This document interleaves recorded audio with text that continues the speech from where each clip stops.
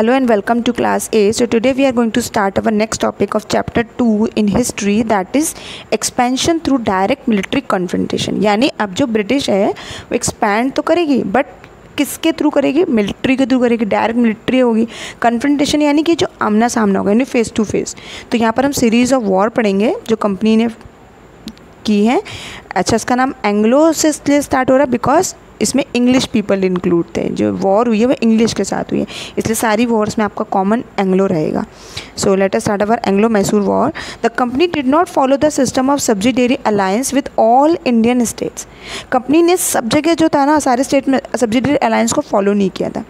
It resorted to direct war when its political and economic interest were threatened ये जब war कब करती थी? जब तक इसको पॉलिटिकली और इकोनॉमिकली थ्रेटन फील नहीं होता था। इकोनॉमिकली का मतलब ये हो गया in the terms of money business trade for example the rise and expansion of Mysore under Hyder Ali alarm the company जैसे कि हम पढ़ने जा रहे हैं इसमें कि जब हैदर अली ने मैसूर को अपने कंट्रोल में लिया तो किस तरीके से कंपनी अलार्म्ड हो गई?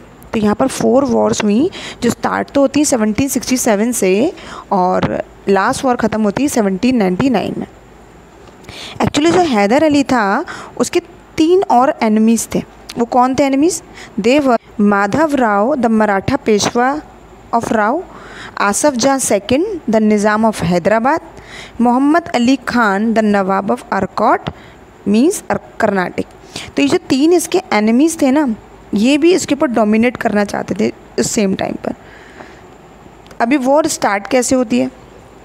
इस वॉर ऐसे स्टार्ट होती है कि जब मैसूर का पूरा कंट्रोल हैदर अली ने ले लिया और उसमें मालाबार कोस्ट को भी उसने क्या करा? इन्फ्लुएंस कर लिया।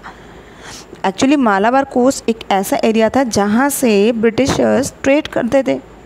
कार्डमम पेपर सैंडलवुड ये सारा जो था, ये एज ए ट्रेड वो यूज़ कर रहे थे। अब जब सारा एरिया किसके अंडर में आ गया? रूलर के अंडर में आ गया तो you cannot do any thing ना विदाउट आस्किंग हिम और without taking any permission so what they did E E I C form an alliance E E ने क्या किया? एक अलायंस बनाया। यही तीन एनिमीज़ के साथ, जो मैंने अभी आपको स्टार्टिंग में बताया। यही तीन एनिमीज़ को उसने इंक्लूड कर लिया, जो थे Nizam of Hyderabad, Marathas and the Nawab of Karnataka. And they decided to attack Mysore Hyder Ali ने क्या हैदर अली को एक्चुअली जो ब्रिटिश थी, ई बहुत अंडर एस्टिमेट कर रही थी। वो ये सोच रहे थे, ऐसा क्यों वो इसलिए कर रहे थे because they have won so many battles बहुत सारी लड़ाइयाँ वो जीत चुके थे। तो उनको लग रहा था हम ये बैटल भी विन कर जाएँगे। बट जो हैदर अली था, उसकी आर्मी बहुत ही स्ट्रांग थी। And he was a very strong contender also very minded person he was not educated he was illiterate spite of that he was very plan पर plan person and wise person so इस war में क्या होता है कि सारे लोग किसकी साइड थे? ब्रिटिशर की साइड थे। Even after that also who was the winner of this first Anglo Mysore war none other person he was Hyder Ali और हैदर अली ने जब ये विन कर गया तो ये कहाँ पहुँच जाता है? मद्रास पहुँचते हैं। और मद्रास पहुँच ही वहाँ पर ब्रिटिश क्या कर देते हैं? पीसफुली इनके साथ एक ट्रीटी साइन करते हैं। क्योंकि मद्रास में साइन हुई ना ट्रीटी इसलिए इसका नाम ट्रीटी ऑफ़ मद्रास ही बढ़ गया। 1769 में। And what were the conditions the condition was that they agree to help each other in case of attack by a third party कि कोई थर्ड पार्टी अगर फ्यूचर में अटैक करती है तो they will help each other दोनों ने एक दूसरे को प्रॉमिस किया। Let us see second Anglo Mysore war second Anglo Mysore war जो हुई एक्चुअली 1771 में मराठास ने क्या किया? दे अटैक मैसूर मैंने अभी आपको बताया था कि तीन जो पार्टीज़ थी, ये तीनों इसके एनिमीज़ थे, इसके ऊपर डोमिनेट करने की कोशिश कर रहे थे टाइम टू टाइम लेकिन ब्रिटिश ने यहाँ पर क्या किया? द ब्रिटिश वायोलेटेड वायोलेटेड का मतलब है कि बैक स्टेप पीछे हट गए वो. द ट्रीटी ऑफ़ 1769 1769 जो फ़र्स्ट एंग्लो मैसूर वॉर में इन्होंने एक ट्रीटी साइन करी थी, वहाँ से उन्होंने एक बैक स्टेप ले लिया and they did not help Hyder ये सब देखते हुए Hyder Ali was very disappointed with Britishers आगे जाके टीपू सुल्तान को भी जब बात पता चलती है तो he was also very disappointed with Britishers तो the also the English attempted to capture Mahe which was under Hyder's jurisdiction. Hyder died in 1782 during this war, but his son Tipu continued it. अगले एक साल तक टीपू ने इस war को continue रखा। जब देखा ब्रिटिश ने देखा कि कोई सोल्यूशन नहीं निकल रहा है finally this war get ended and this sign a treaty that was the treaty of Mangalore in 1784 what were the conditions again? They agree to respect each other's territories. दोनों एक दूसरे के टेरिटरीज को respect देंगे। Third Anglo Mysore war same conditions जो first में थी कि हैदर अली ने क्या किया था? जो एरिया था वो पूरा अपने अंडर में ले लिया था पूरी अथॉरिटी कैप्चर कर लिया था एक तरीके से आप कह सकते हो अपना एरिया को एक्सपैंड कर रहा था वो भी। तो सेम काम टीपू ने किया। Tipu Mysore control the profitable trade of the Malabar coast where the company purchased pepper and cardamom. In 1785, the Tipu stopped the export of sandalwood, pepper and cardamom. And disallowed local merchants to trade with the company ये सारा export तो उसने side में रोका ही रोका side में एक काम उसने ये किया, टीपू सुल्तान ने उसने डिस अलाउ कर दिया लोकल मर्चेंट्स को कि अब आप कंपनी के साथ कोई भी ट्रेड नहीं करोगे। He established a close relationship with the French in India and modernized his army with their help. ज़्यादातर ये जो डीलिंग करता था ना टीपू सुल्तान, ये फ्रेंच लोगों के साथ करते थे। अब फ्रेंच को अपनी आर्मी में भी रखते एम्प्लॉय करते थे ताकि जो मॉडर्न टेक्निक्स हैं, वो अपनी आर्मी को भी वो आ जाए, ठीक है?